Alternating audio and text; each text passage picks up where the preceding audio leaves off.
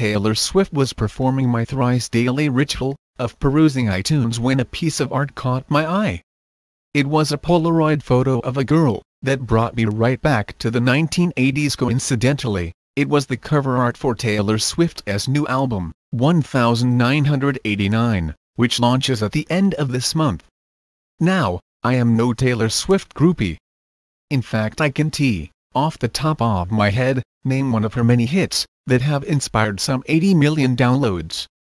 And even if you played a few for me, I am pretty positive I couldn't de-identify her signature sound.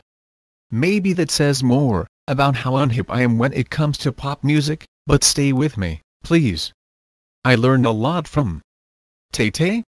And you can too. Because, pop deafness aside, I suddenly have Taylor Swift on the brain. From one piece of art on iTunes? Oh, that is but one piece of an impressive marketing mosaic. You see, Taylor Swift has been launching this new product through a variety of platforms over the last few months.